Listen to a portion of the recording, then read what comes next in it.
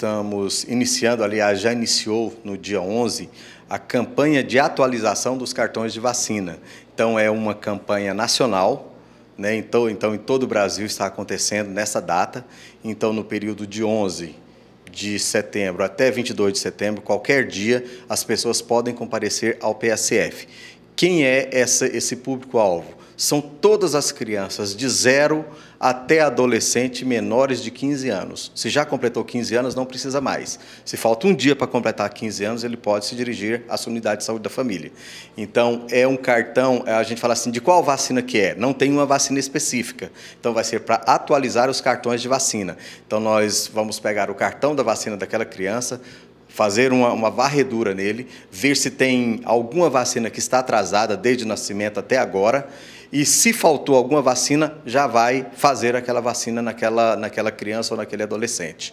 Então, nós temos, como eu já disse, será do dia 11 até o dia 22 deste mês de setembro, mas nós temos o dia especial, que é o dia D, que vai acontecer neste sábado, dia 16, das 8 da manhã até 5 da tarde, em todos os PSFs, não tem intervalo para o almoço. Então, esse dia, esse dia dele é muito importante, principalmente para aqueles pais que trabalham e não têm tempo de levar os seus filhos durante a semana semana ou estuda, né? Então, o, o sábado é, nós vamos estar com todos os PSF abertos para todos levarem os seus filhos, né? Levar o cartão de vacina para poder a gente conferir. Faltou alguma vacina, a gente já completa.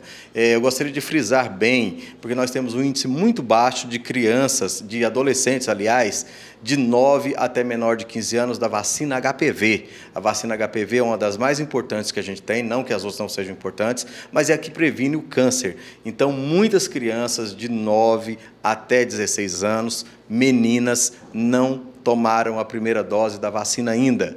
E agora foi instituído para os meninos. Meninos também de 11 até menores de 15 anos também vão tomar a vacina HPV. Então, é uma vacina simples, que a pessoa já chega, já toma, daqui a seis meses toma a segunda dose, está imunizado contra o câncer de colo de útero, câncer vaginal, câncer peniano. Então, é, é uma doença é, gravíssima e que é combatida com muita facilidade, exemplo das outras doenças, com a vacina. Durante essa campanha aí, além do cartão de vacinação, existe algum outro documento que a pessoa deve levar ao PSF? Sim, é, se a pessoa tem só o cartão de vacina, ele tem que levar o cartão do SUS também, porque essa na hora que chega na unidade de saúde, a pessoa vai ser vai avaliar o cartão dela. A gente já vai digitar imediatamente online para o Ministério da Saúde que essa pessoa compareceu e através do cartão SUS a gente vai informar se esta pessoa está com o seu cartão de vacina em dia, está com a vacina em dia ou não. Porque se ela chegar hoje, por exemplo, isso é, isso é importantíssimo esse fato de digitarmos o cartão do SUS é, no, no, na, lá no sistema, porque vamos supor se essa criança muda lá para Cuiabá, perdeu o cartão de vacina dela, basta ali numa unidade lá, ela vai solicitar lá, através do cartão do SUS dela, ela tira a segunda via do seu, seu espelho de vacina, ele vai ter todas as vacinas que ele tomou. Então, por isso que é importante levar o cartão de vacina, levar o cartão do SUS. Se quiser levar algum outro documento, não tem problema, mas esses são os dois essenciais para a gente atualizar o cartão de vacina dessas pessoas no nosso município. Vale ressaltar também a importância da participação das pessoas nesse dia D. Nesse dia D, ele é importantíssimo porque nós estamos mobilizando toda a equipe da, da, da Secretaria de Saúde nesse sentido não vai ter nem mesmo intervalo para o almoço, então das 8 da manhã às 5 da tarde em todo o seu PSF.